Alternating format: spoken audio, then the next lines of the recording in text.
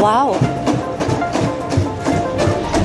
使用场景还是非常多的，因为它是人形机器人嘛。它相较于其他的机器人，比如说轮式机器人啊，这些四足机器人啊，它其实呃最大的优势是在于它可以做很多灵巧的、精细的动作。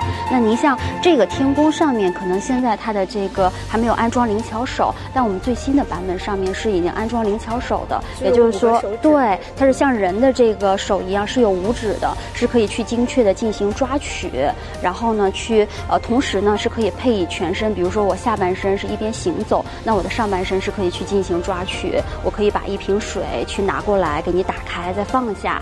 那它为什么是呃要有这样的一些功能呢？是因为我们希望它一方面能够去呃帮助人完成一些非常高危的动作。你比如说啊，像这个火场的救火，像这种高辐射这些对人体有害的场景，我们希望它能够代替人去做。另外一方面，我们是希望它未来能够进入千家万户啊。他在这个家庭里面，然后去照顾老人、小孩儿，完成就是这个家庭护理这样一个角色，嗯。